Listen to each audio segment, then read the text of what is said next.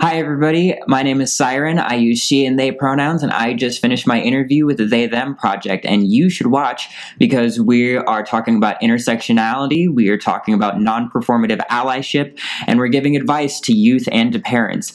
You can check out my interview and all of the others at theythemproject.org.